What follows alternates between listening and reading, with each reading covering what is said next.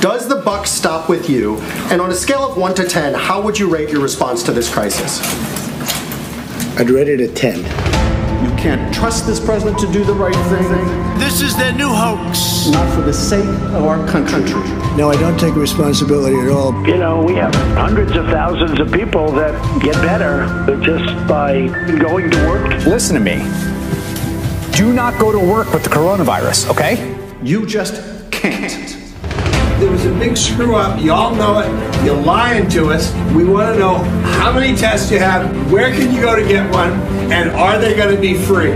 The American people expect and deserve a coordinated, science based, and whole of government response. Testing, testing, testing, testing. Find the virus. And we need to get ahead of this wave.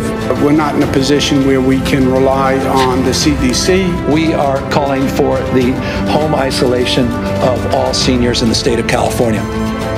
You did disband the White House pandemic office. The White House lost valuable time because that office wasn't disbanded. What do you make of that? Well, I just think it's a nasty question.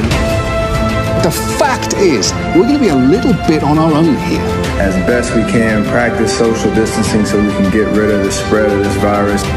This is real important. Make sure y'all wash y'all hands real thoroughly. This is our most desperate hour.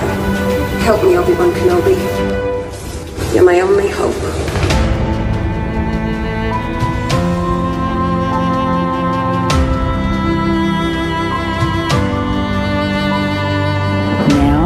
Working together, we will once again prevail and we will come out stronger than before.